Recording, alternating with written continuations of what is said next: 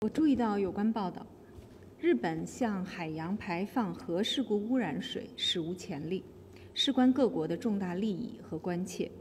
国际原子能机构秘书处目前所谓的对日监测，没有机构理事会授权，未经成员国充分讨论，只是秘书处向日方提供的技术咨询和支持活动，缺乏国际性和独立性。